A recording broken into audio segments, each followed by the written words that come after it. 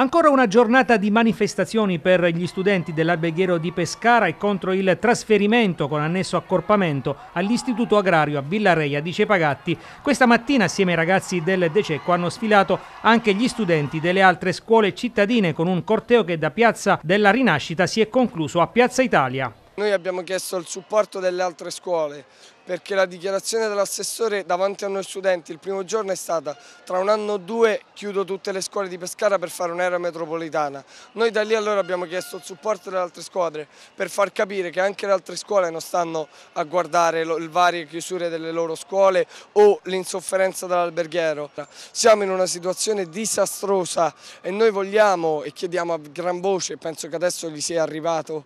che ci diano i laboratori la sede unica e che nel frattempo che loro fanno i lavori per sistemarci i laboratori ci diano altri laboratori e altre strutture per poter far studiare i nostri ragazzi e lo dico anche a nome dei professori. A metà mattinata poi il presidente della provincia Antonio Di Marco ha ricevuto una delegazione di studenti dando la massima disponibilità dell'ente alla condivisione delle decisioni da prendere. Eh, il fatto stesso che poi la giunta regionale abbia voluto in qualche misura coinvolgere anche nella nella stesura della delibera a questi due istituti mette nella condizione la provincia di dover avviare una riflessione anche concertata con la Regione ed è per questo che io oggi stesso eh, ho proposto di attivare un osservatorio fatto di genitori, fatto di ragazzi, fatti del corpo eh, docente chiaramente e eh, noi come provincia chiederò al governatore un incontro tra domani e lunedì. Io eh, ho anche la possibilità in questo momento di rassicurare i ragazzi rispetto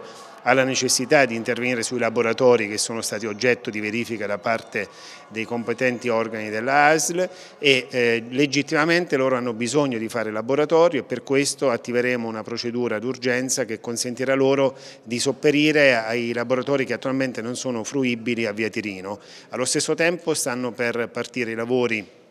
che riguardano i 145 mila euro messi a disposizione dalla Regione nel plesso A dove c'è stato il crollo e allo stesso modo tra dieci giorni eh, avremo la certezza procedurale per riattivare i lavori della palestra